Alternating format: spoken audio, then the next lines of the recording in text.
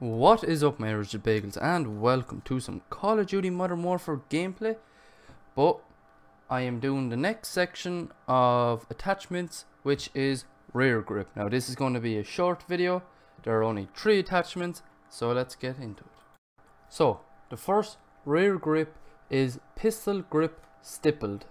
Stippled pistol grip keeps the weapon in control while performing high speed maneuvers not as steady as a standard grip.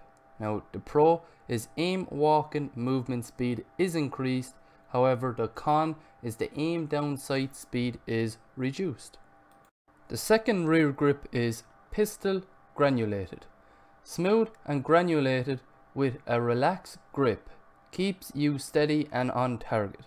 Now there are two pros which are aim down sight speed and aiming gun steadiness are increased. However, the con is idle sway control is reduced. Last but not least, in the rear group section for attachments, we have pistol grip rubber. A rubberized grip keeps gun tight in hand, less steady but helps control recoil. Now, there are two pros and one con. The pros are aim down sight speed and sprint to fire speed are both increased. Now, the con is idle sway control is reduced. So guys, this is the end of the video. I do hope you guys did like it. If you did, please leave a like. And if you have not already, please subscribe. And if you want to stay up to date whenever I am going to be uploading or even live streaming, I have a Twitter account, Lord underscore originals, if you don't want to type it in, there will be a link to it in the description below. Once you're there, you can hit the follow button. Right beside that, there should be a bell to notify you whenever I tweet or I just genuinely just do something on Twitter.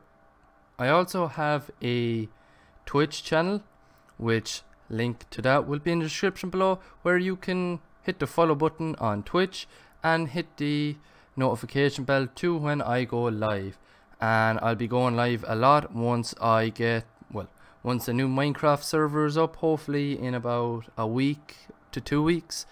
And I will also be live streaming the new Call of Duty game that will be coming out. I'll be live streaming the beta and then I'll probably be live streaming the game once it comes out as well. But yeah that is it guys. Thank you. I'll probably also stream on Mixer. If you have a Mixer account link to the link to my Mixer account will be in the description below. But yeah, that is it guys. Hope you like, favorite, and subscribe, and peace.